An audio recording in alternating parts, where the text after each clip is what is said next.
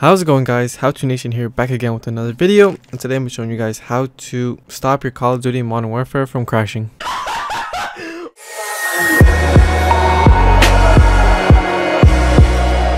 Okay, so for the very first thing we're going to want to do is run the game on your PC obviously because this is for PC only.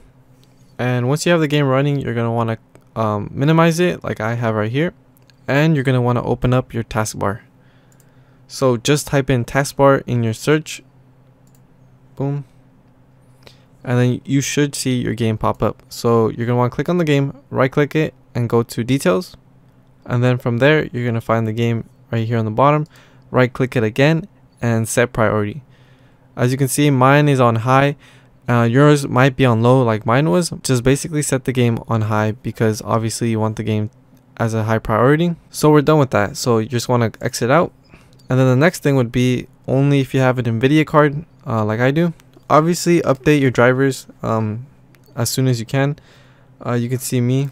You just go right here. You open up GeForce Experience. You go to drivers and then you check for updates. Mine is already update. It has the new update to help out with the new game. Uh, so always make sure you update it um, frequently and always check for updates. So you close that up and then you go up to the NVIDIA control panel. Once you're in the NVIDIA control panel, you're going to want to go to configure surround um, PhysX and go right here to processor and select your graphics card. Like I said, this is only going to work if you have a NVIDIA card. Click apply. Let's apply the changes and that's it. Okay, so once you finish with those things, there is a few times where you open up the game and it tells you to run in safe mode. I would highly recommend running it in safe mode, especially if you crash a lot. But if you crash here and there, I wouldn't really recommend it because all it really does is lower down all your settings, uh, all your graphic settings to be exact, to like the lowest possible, and the game doesn't really look as good. So what I highly would recommend is when you do go into safe mode, all you really have to do is change the graphic setting right here to a full screen borderless. Click apply and you should be good. But like I said, your settings are going to be all low as you can see. Disabled, low, low, low, low. But if you don't want to do that and run in safe mode, you could just open up the game normally. And the only real setting you have to change is this one right here, the texture resolution. As you can see, if it's high, it uses quite a bit of your VRAM.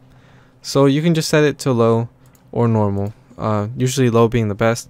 Very low wouldn't be that. It wouldn't be worth setting it to very low just because look at the difference. There's like no difference. But that's pretty much it. That's all I did and it really helped out with the game. It hardly crashes ever at all. I'm not going to say it never crashes just because especially the new Warzone game mode that just came out. It kind of messes with the configuration of the game. So obviously as time passes they're going to they're gonna take out those bugs. But as for now those are the few things you can do in order to help you with your game not crashing. So i hope you guys like the video. Like comment subscribe for more awesome content from me how to nation. And until next time how to nation out